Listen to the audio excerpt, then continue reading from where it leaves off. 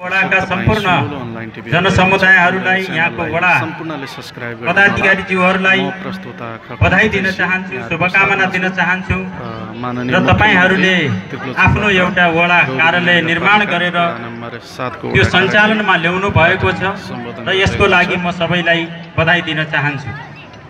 र धन्यवाद दिन चाहन्छु यहाँको नगरपालिका र यहाँको वडापालिकालाई कि तपाईँहरूले मलाई पनि यहाँ बोलाएर जनताको बिचमा केही कुरा राख्ने मौका दिनुभएकोमा यसको लागि म धन्यवाद दिन चाहन्छु। र सर्वप्रथम तपाईँहरूको बिचमा यहाँ राख्ने वक्ताहरूले केही कुरा राखि पनि सक्नु भएको छ।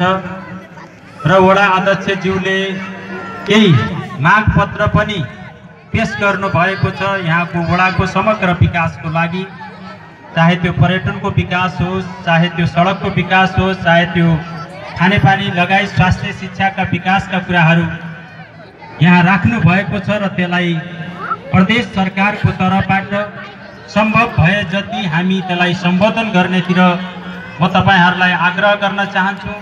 प्रदेश सरकारले यो वर्ष कैयौँ योजनाहरू यो वर्ष पनि सम्बोधन गरेको हुनसक्छ र अर्को वर्ष अर्को बजेटमा तपाईँहरूका ठुला योजनाहरू प्रदेशबाट सञ्चालन गर्नुपर्ने योजनाहरू हामी सम्बोधन गर्ने नै छौँ यो कुरा म यहाँ राख्न चाहन्छु।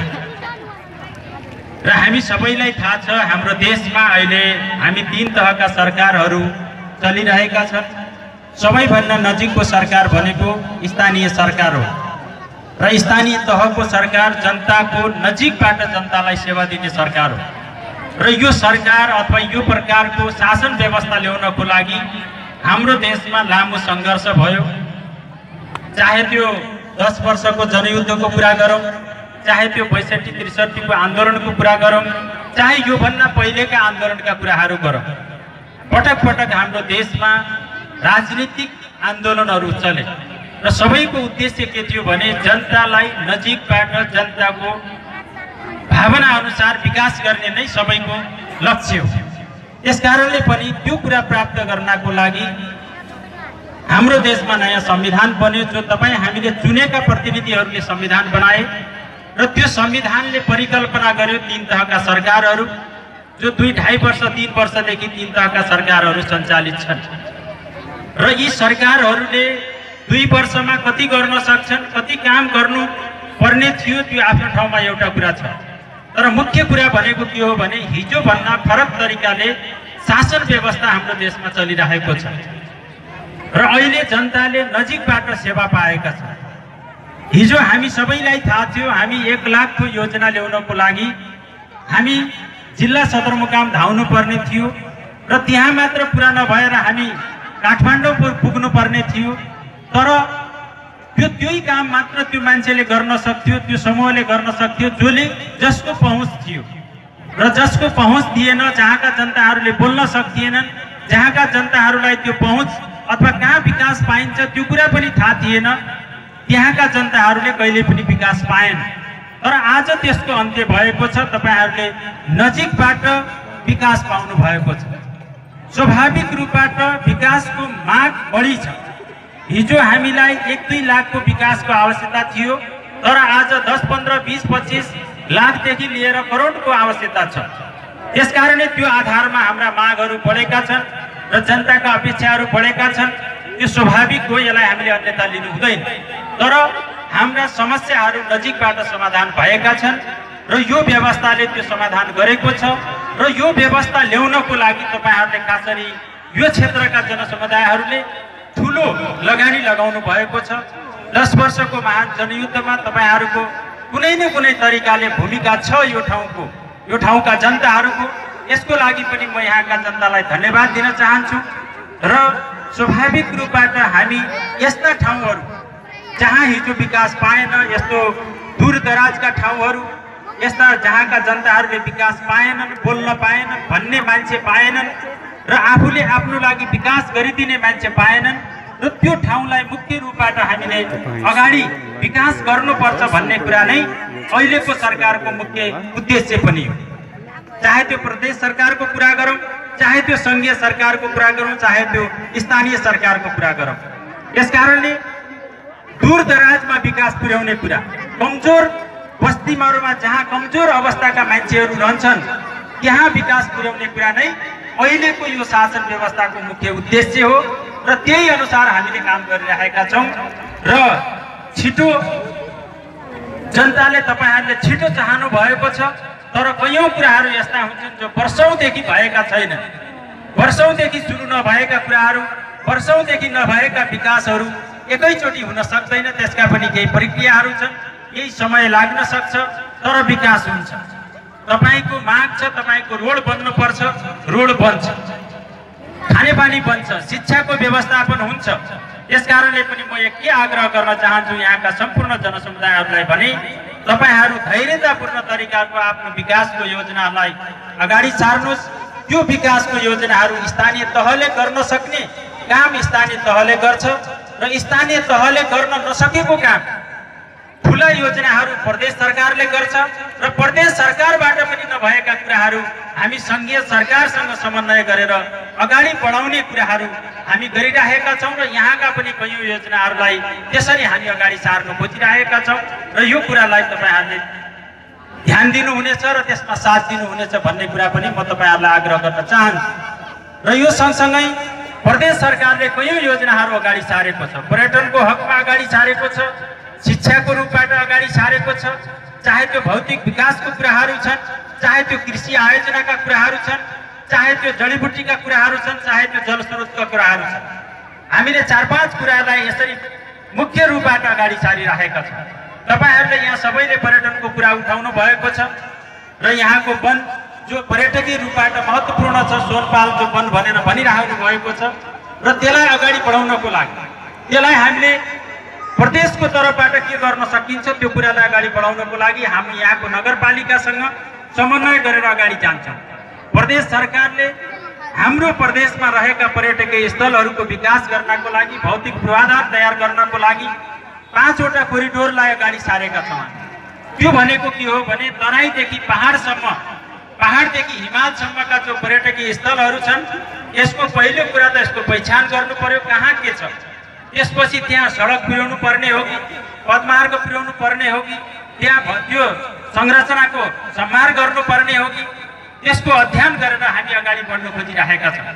यति मात्र नभएर त्यो बाटोमा पढ्ने हाम्रा गाउँहरू जहाँ जो गाउँमा हिजो विकास पुग्न सकेको छैन त्यसलाई होमस्टेको रूपबाट विकास गरेर त्यहाँका उत्पादन भएका कुराहरूलाई बजारसँग जोड्ने कुरा त्यो बाटोबाट पर्यटनलाई भित्र्याएर त्यहाँ पनि आर्थिक विकास गर्ने कुरा हाम्रो उद्देश्य रहेको छ। त्यसकारणले त्योभित्र तपाईँहरू तपाईँहरूको नगरपालिकाभित्र रहेका पर्यटकीय स्थलहरूको पनि हामी अध्ययन गर्नेछौँ र यसको विकासको लागि प्रदेश सरकार तपाईँहरूको साथमा छ। यो कुरा म भन्न चाहन्छु। र यो सँगसँगै शिक्षाको कुरा यहाँ दुई तिन वक्ताहरूले पनि उठाउनु भयो केही विद्यार्थीहरूले पनि आफ्नो गीतद्वारा पनि त्यो कुरा उठाउनु भयो अहिले शिक्षाको विषय भनेको हाम्रो देशमा अहिलेसम्म शिक्षा जसरी व्यवस्थित रूपबाट सञ्चालन हुनुपर्ने थियो त्यो नभएको कुरा हामी सबैलाई थाहा छ। तर सरकारी स्कुलहरूलाई व्यवस्थित गर्नको लागि सरकारी स्कुलहरूलाई भौतिक पूर्वाधार दिने कुरा शिक्षकको व्यवस्थापन गर्ने कुरा त्यहाँ अन्य वातावरण बनाउने कुरा जो विगतमा हुन सकेन त्यति व्यवस्थित रूपबाट हुँदै भएको होइन। नभएको त होइन तर जति व्यवस्थित हुनुपर्ने त्यति हुन सकेन। तर त्यसलाई व्यवस्थित गर्नको लागि प्रदेश सरकारले शिक्षा नीति अगाडि सार्न खोजिरहेको छ। त्यो भनेको के हो भने सरकारी स्कुललाई व्यवस्थित रूपबाट अगाडि बढाउनको लागि हामी सबैले त्यहाँ ध्यान दिनु जरुरी छ। म अभिभावकहरूलाई आग्रह गर्न चाहन्छु तपाईँको नजिकको स्कुलमा। के भइरहेको छ? तपाईँका नजिकका नेताहरूले के गरिरहेका छन्? यो स्कुलको लागि तपाईँका जनप्रतिनिधिहरूले के गरिरहेका छन्? तपाईँको बच्चा त्यो स्कुलमा पढिरहेको छ कि छैन? तपाईँका शिक्षकहरूले के गरिरहेका छन् यसको निगरानी गर्नु जरुरी छ। किनभने अहिले हामीले देखिरहेका छौँ सरकारी स्कुलमा धेरै मान्छे पढ्न चाहँदैनन् पढाउन चाहँदैन त्यसको एउटा मात्रै कारण के छ भने सरकारी स्कुलमा पढेको विद्यार्थी सहर बजारमा गएर प्रतिस्पर्धा गर्न सक्दैन लोकसेवामा जाँच दिन सक्दैन। काठमाडौँमा पढेको मात्र नभएर यही नजिककै अलि व्यवस्थित सहरहरूमा पढेका विद्यार्थीहरूसँग प्रतिस्पर्धा गर्न सक्दैन त्यस कारणले सरकारी स्कुलमा कसैले ध्यान दिँदैन। तर म के भन्न चाहन्छु भने सरकारी स्कुललाई नै हामीले व्यवस्थित गर्नुपर्छ। हामी जस्ता नेताहरूका बच्चा पनि त्यहीँ पढ्नुपर्छ शिक्षकहरूका बच्चा पनि त्यहीँ पढ्नुपर्छ स्थानीय राजनीतिक दलका नेताहरू नेताहरू जो हुनुहुन्छ उहाँका बच्चाहरू पनि त्यहीँ पढ्नुपर्छ। मञ्चमा भाषण मात्र दिएर हुँदैन। अब हामीले आँट के गर्नुपर्छ भने हाम्रा सबैका बच्चा सरकारी स्कुलमा पढ्न सुरु गर्यो भने त्यो स्कुलमा हामी सबैले ध्यान दिन्छौँ। जब हामी त्यहाँ बच्चालाई पढाउँदैनौँ हामीले ध्यान दिँदैनौँ। राजनीति रूपबाट भाषण गर्ने कुरा हामी मञ्चमा भाषण गर्ने कुरा आफ्नो ठाउँमा छ। तर एउटा गम्भीर विषय के छ भने त्यो स्कुलमा पढाउने शिक्षकले समेत आफ्नो बच्चा त्यहाँ पढाउन आँट गर्दैन। यो एकदम गम्भीर विषय छ यसमा तपाईँहरूले सबैले ध्यान दिनु जरुरी छ। म तपाईँहरूलाई भनौँ म यो प्रदेशको मुख्यमन्त्री हुँ। मेरा बच्चाहरू हिजो पनि सरकारी स्कुलमा पढ्थे र अहिले पनि मेरा बच्चाहरू सरकारी स्कुलमा पढ्छन्। र जुन स्कुलमा पढ्छन् त्यो स्कुललाई व्यवस्थित बनाउनु पर्छ भनेर हामी सबैको जोर हुन्छ। त्यस कारणले यो आग्रह गर्न चाहन्छु। म तपाईँहरूलाई यहाँका राजनीतिक दलहरूलाई र यहाँका जनप्रतिनिधिहरूलाई सबै केन्द्रित हौँ। हामी सरकारी स्कुललाई व्यवस्थित गरौँ। र त्यहाँ शिक्षकको अभाव छ सरकारले त्यसको व्यवस्थापन गर्छ। भौतिक संरचनाको अभाव छ सरकारले व्यवस्थित गर व्यवस्थापना गर्छ। स्थानीय सरकार प्रदेश सरकार र सङ्घीय सरकारका शिक्षाका नीतिहरू छन् त्यसलाई व्यवस्थित रूपबाट अगाडि बढाउनेमा हामी अगाडि जाउँ। यहाँको मेयर साहबले पनि भनिसक्नुभयो यहाँको शिक्षालाई व्यवस्थित गर्नको लागि यहाँको स्थानीय सरकार लागिराख्नु भएको छ। त्यसमा थप प्रदेश सरकारले के सहयोग गर्नुपर्छ हामी छलफल गरेर प्रदेश सरकारको तर्फबाट हामी सहयोग गर्न तयार छौँ। र यो सँगसँगै हामीले हामीलाई चाहिएको जनशक्ति। अहिले मलाई लाग्छ गाउँपालिका नगरपालिकालाई इन्जिनियर चाहिएको छ ओभरसियर चाहिएको छ। गाउँ गाउँमा हस्पिटलहरू बनिरहेका छन् डाक्टर चाहिएका छन्। तर त्यो कुरा हामीले यहाँ जनशक्ति त्यो तयार गर्न सकेनौँ भने बाहिरको मान्छे यहाँ कोही पनि आउँदैन। त्यस कारणले पनि प्रदेश सरकारले के भनेको छ भने अब छात्रवृत्ति दिएर भए पनि अब हाम्रै प्रदेशका जेहानदार विद्यार्थीहरूलाई डाक्टर बनाउनु पर्छ इन्जिनियर बनाउनु पर्छ प्राविधिक बनाउनु पर्छ भनेर गत वर्षदेखि हामीले कार्यक्रम सुरु गरेका छौँ। र अहिले पनि त्यो सुरु छ र त्यसलाई हामीले व्यवस्थित रूपमा अगाडि बढाउन खोजिरहेका छौँ।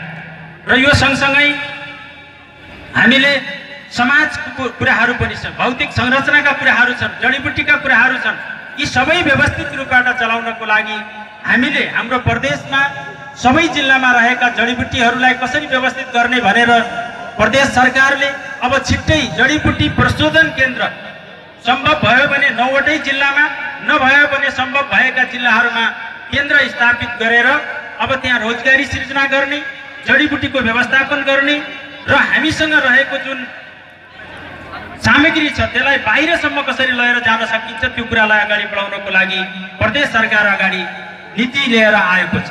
यो सँगसँगै ऊर्जाका कुरा धेरै कुराहरू छन्। हाम्रा पहाडी जिल्लाहरूमा प्रत्येक खोलाहरूमा प्रत्येक ठाउँमा विद्युत निकाल्न सकिन्छ। र त्यसको लागि हामी अध्ययन गरिरहेका छौँ। र यो सँगसँगै हामीले कृषिको कुरा गऱ्यौँ। अहिले यो वर्ष मात्रै अठासीवटा स्थानीय तहहरूमा अब कृषि कार्यक्रम सञ्चालन हामी गरिरहेका छौँ। त्यसको उद्देश्य भनेको के हो भने किसानलाई चाहिएको सबै कुरा एकै एकद्वारीय प्रणालीबाट उपलब्ध गराउने। अनुदान मात्र दिएर कृषिलाई बनाउन सकिँदैन। त्यस कारणले अब किसानलाई सिँचाइ चाहिन्छ सिँचाइ सरकारले व्यवस्थित गरिदिनु। किसानलाई बिउ बिजन चाहिन्छ त्यो सरकारले व्यवस्थापन गरिदिनु। किसानले उत्पादन गरेको कुरा यदि मार्केटसम्म लगेर जान चाहन्छ त्यसको लागि वातावरण बनाइदिनु। त्यस कारणले एकीकृत रूपबाट अब हामी कृषिलाई अगाडि बढाउन खोजिरहेका छौँ र तपाईँहरूको यो नगरपालिकाभित्र पनि त्यो कार्यक्रम सञ्चालन हुन्छ। यहाँको नगरपालिकाले कहाँ त्यो गर्न चाहन्छ त्यो अनुसार हामी सल्लाह गरेर नै अगाडि बढिरहेका छौँ र यो आफै एउटा राजमार्गसँग जुडेको नगरपालिका भएको कारणले पनि यहाँ धेरै चिजहरू उत्पादन गरेका चिजहरूलाई बाहिर ल्याउन सकिने स्थिति हुन्छ। त्यस कारणले पनि तपाईँहरूलाई त्यतापट्टि पनि तपाईँहरूले ध्यान दिनु होला प्रदेश सरकार त्यसको लागि तयार छ। र यो सँगसँगै हामीले समाज रूपान्तरणको लागि पनि यहाँ महिलाहरू धेरै हुनुहुन्छ अघि पनि सुरुमा एउटा स्वागत मन्तव्य राख्ने हाम्रो वडा सदस्यले कुरा राख्नुभयो। बहुविवाहका कुराहरू छन् छाउपडीका कुराहरू छन् बक्सीका कुराहरू छन्। महिलाहरूमाथि अहिले पनि विभिन्न प्रकारले हिंसा भइरहेको छ। र यसको अन्त्य गर्नको लागि पनि हामी सबै एक ठाउँमा उभिनु जरुरी छ। हाम्रो सुदूरपश्चिम प्रदेश हामी विगतमा विकास पाएन। हामीले जति प्रगति गर्नु पर्थ्यो त्यति हुन सकेन। तर अहिले पनि हामी सबसम्म समाज रूपान्तरण हुँदैन।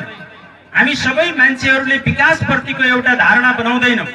समाजमा एक दुसरालाई सहयोग गर्ने र एक दुसराको अस्तित्वलाई स्वीकार्ने कुरा गर्न सक्दैनौँ तबसम्म समाजमा विकास हुँदैन। हामी जति प्रयास गरे पनि अहिले पनि हाम्रो समाजमा देखिन्छ कसैले राम्रो कुरा अगाडि सार्यो भने ल यो बाटो यो ठाउँमा बाटो बनाउनु पर्यो भनेर एउटाले सुरु गर्यो भने अर्कोले विरोध गर्छ। यो अहिलेसम्म हाम्रो प्रथा छ। त्यसकारणले अब त्यसको अन्त्य गर्नुपर्छ र सँगसँगै यहाँ विभिन्न जाति समुदाय बस्ने ठाउँ। यहाँ थारू थारूहरू छन्। राणा थारूहरू छन् पहाडीहरू हामी सबै छौँ। त्यस कारणले पनि यस्तो ठाउँलाई विकास गर्नको लागि हामी एक दुसरालाई सहयोग गरेर अगाडि बढ्नुपर्ने हुन्छ। एउटा गाउँमा विकास गर्नको लागि त्यहाँ सबै समुदाय चाहिन्छ। सबैले साथ दियो भने मात्र त्यो गाउँ नमुना गाउँ बन्छ राम्रो गाउँ बन्छ त्यसको इज्जत रहन्छ। यदि हामी एक दुसरालाई हेप्न लाग्यौँ एक दुसरालाई दुःख दिन लाग्यौँ एक दुसरालाई अप्ठ्यारो गर्न लाग्यो भने त्यहाँ विकास हुन सक्दैन। कोही नेताले पनि त्यहाँ विकास गर्दैन। त्यस कारणले मेरो आग्रह के छ भने यहाँका स्थानीय तहहरूलाई हामी सबै एक ठाउँमा उभियौँ र महिलाहरू जो हिंसामा पढिराख्नु भएको छ अथवा राजनीतिक रूपबाट संवैधानिक रूपबाट महिलालाई ठुलो अधिकार छ हाम्रो देशमा। यो देशका सबै स्थानीय तहहरूमा महिलाहरूको उपस्थिति छ। तर अहिले पनि समाजले त्यो स्वीकार्न सकेको छैन। त्यस कारणले हामीले एउटा जनअभियान सञ्चालन गर्नुपर्छ भनेर नीति अगाडि सारेका छौँ। त्यो भनेको के हो भने अब जातीय रूपबाट हुने छुवाछुत र महिलाहरूमाथि हुने हिंसाको अन्त्य गर्नको लागि हामी सबै एक ठाउँमा उभिनुपर्छ र जनप्रतिनिधिहरूले आफ्नो नेतृत्वमा अब अभियान सञ्चालन गर्नुपर्छ भनेर पनि प्रदेश सरकारले नीति अगाडि ल्याएको छ। छिट्टै हामी स्थानीय तहहरूमा त्यो कुराहरू पुर्याउँछौँ र यहाँको वडा अध्यक्षको नेतृत्वमा त्यो समिति बनेर अब सबै ठाउँमा हामीले त्यो अभियानको रूपबाट मान्छेको दिमागबाट त्यो गलत कुराहरूलाई निकाल्नको लागि हामीले अभियान सञ्चालन गर्नुपर्ने हुन्छ। र यसको लागि पनि तपाईँहरू खास गरी विद्यार्थीहरू महिलाहरू अन्य सबै पुरुष साथीभाइहरू र सबैले युवाहरूले एक ठाउँमा उभिनु जरुरी छ। र त्यस कारणले यो कुरा पनि म तपाईँहरूको बिचमा राख्न चाहन्छु। र तपाईँहरूले तपाईँहरूको वडाको तर्फबाट नगरपालिकाको तर्फबाट केही मागहरू यहाँ अगाडि आएका छन्। र यसलाई मैले भनिसकेँ। र हामीले सम्बोधन अहिले गर्नुपर्ने सम्बोधन अहिले गरौँला र अर्को आर्थिक वर्षमा गर्ने कुरा त्यतिखेर गरौँला। अरू यो सडकको जुन कुराहरू यहाँ उठेको छ मलाई लाग्छ एटिपीले गर्ने भन्नेहरू कुराहरू चलिरहेका छन्। यदि एटिपीले नगर्ने अथवा त्यस्तो प्रकारको वातावरण बन्यो र उसले हात झिक्ने स्थिति बन्यो के भएको छ मैले त्यति डिटेलमा बुझेको छैन। त्यस्तो स्थिति छ भने यहाँको नगरपालिका र प्रदेश सरकारको साझेदारीमा यो सडक बनाउनको लागि प्रदेश सरकार तयार छ। यसको लागि म मेयर साहबसँग पछि पनि कुरा गर्छु। र यसको विधि के छ कस्तो छ कसरी जान सकिन्छ? र अहिले हामीले साझेदारी कार्यक्रम पनि स्थानीय तह प्रदेश मिलेर साझेदारी कार्यक्रम अगाडि सारौँ। एक करोडको योजना छ भने पचास लाख तपाईँ हाल्नुहोस् पचास लाख प्रदेश सरकारले हाल्छ। र छिटोभन्दा छिटो काम गरौँ छिटोभन्दा छिटो सेवा दिउँ जनतालाई भन्ने हाम्रो उद्देश्य रहेको छ। र यसमा पनि हामी तयार छौँ र यहाँ स्वास्थ्यका कुराहरू छन्। यहाँ एउटा राम्रो तपाईँहरूले शिविर पनि लागू गर्नुभएको रहेछ र यसको लागि पनि म धन्यवाद दिन चाहन्छु र प्रदेशले पनि अब वृद्धहरूलाई घरमै गएर सुविधा दिनुपर्छ भनेर केही जिल्लाहरूमा हामीले नमुनाको रूपबाट अहिले सुरुवात गर्न खोजेका छौँ। यो वर्ष मात्रै अर्को वर्षदेखि सत्तरी वर्षभन्दा माथिका वृद्धहरूलाई अब घरमै पुगेर उपचार गर्नुपर्छ भनेर पनि प्रदेश सरकारको कार्यक्रम रहेको छ। र त्यसमा स्थानीय तहहरूले पनि साझेदारीमा हामीले गऱ्यौँ भने धेरै मान्छेहरूले त्यसको लाभ लिन सक्छन्। यो कुरा पनि तपाईँहरूको बिचमा राख्दै तपाईँहरूले जुन वडा कार्यालय यहाँ उद्घाटन गर्नुभएको छ यहाँबाट तपाईँहरूले नजिकबाट सेवा पाउनुहुनेछ। र यस्ता चिजहरू अन्य विकासका कुराहरू पनि साझेदारीमा हामी अगाडि बढाउँ र मलाई खुसी पनि लाग्यो यहाँका पार्टीका साथीहरूले एक दुसरालाई सहयोग गर्ने कुरा एक दुसराले गरेको कुराहरूलाई राम्रो छ भनेर सार्वजनिक रूपबाट बोल्ने कुरा यो आफैमा राम्रो कुरा हो र यसको लागि पनि तपाईँहरू एकै सबै एक ठाउँमा उभिएर जानुहुन्छ भने मलाई लाग्छ यहाँको विकास हुन्छ र जहाँसम्म माथिको जो हिजोको तालबन्दको जुन ठाउँ छ त्यसलाई हामी हेर्न खोजिरहेका छौँ। त्यो त्यसको अर्थ भनेको के हो भने त्यसलाई कुनै न कुनै तरिकाले प्रदेशले प्रयोगमा ल्याउनुपर्छ भन्ने हामीले सोचिरहेका छौँ। अब हामी सबै स्थानीय तह प्रदेश र सङ्घीय सरकारसँग साझा रूपबाट हेरेर यसलाई के गर्न सकिन्छ? कस्तो तरिकाले यसलाई प्रयोग गर्न सकिन्छ? के बनाउन सकिन्छ? कुनै ठुलो औद्योगिक क्षेत्र बनाउन सकिन्छ कि या कुनै अरू पर्यटकीय क्षेत्र बनाउन सकिन्छ कि? के गर्न सकिन्छ त्यो विषयमा हामी अध्ययन गर्दैछौँ। पछि तपाईँहरूलाई यो कुरा जानकारी नै हुनेछ। यति कुरा तपाईँहरूको बिचमा राख्दै तपाईँ